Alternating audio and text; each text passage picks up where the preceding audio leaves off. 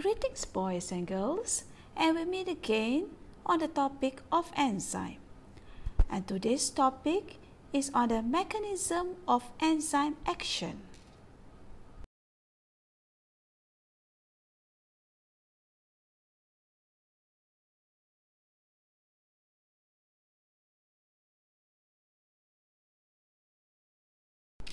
The learning standard for today's lesson is to explain the mechanism of enzyme action using lock and key hypothesis and the second one to interpret the energy diagram to explain the mechanism of enzyme action.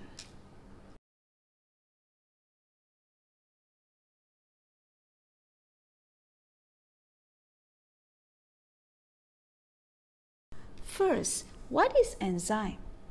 Enzyme is a complex protein that made up of polypeptide chains that are folded into three-dimensional structure.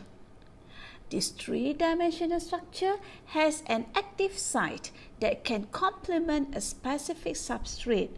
From the diagram, you can see that the enzyme is colored in green and the arrow showing the active site of the enzyme.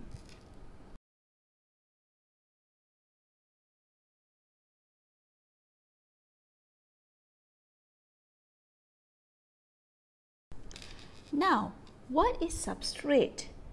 Substrate is a molecule that is able to bind at the active site of the enzyme. This substrate is the reactant that is catalyzed by a specific enzyme.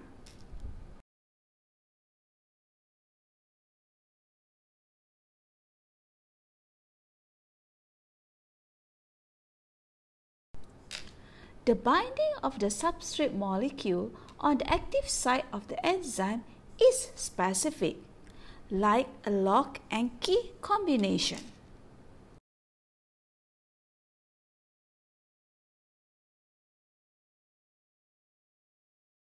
The analogy for the lock and key combination is the lock represent the enzyme whereas the key represent the substrate. So only specific key can fit into a specific enzyme.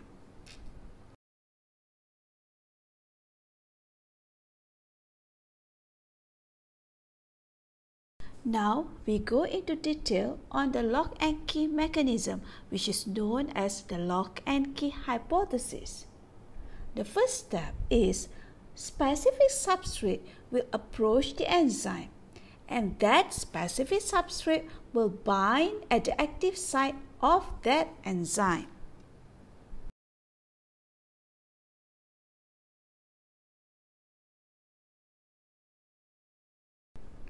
The binding of the substrate at the active site of the enzyme will form a structure that is known as enzyme substrate complex.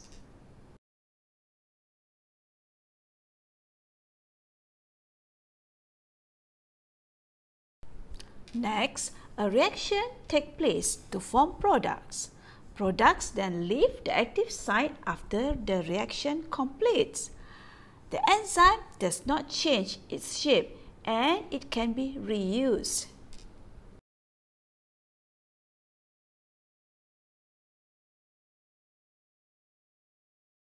Now, what is activation energy? Activation energy is the energy that is needed to break down the bond in the substrate molecule before reaction can occur. And the enzyme function is to lower the activation energy so that the rate of biochemical reaction will be faster.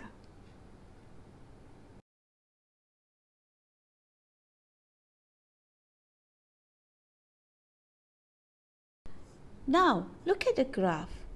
The blue color line showing the reaction without enzyme, whereas the red color line showing the reaction with the presence of enzyme.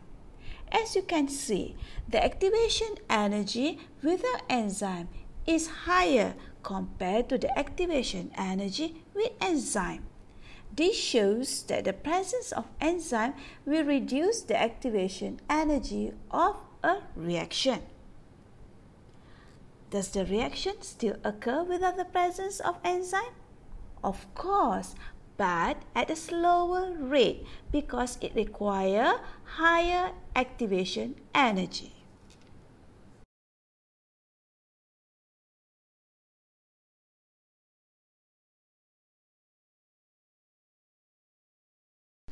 That's all for today. And for today's assignment, please refer to the lock and key hypothesis assignment in your Google Classroom.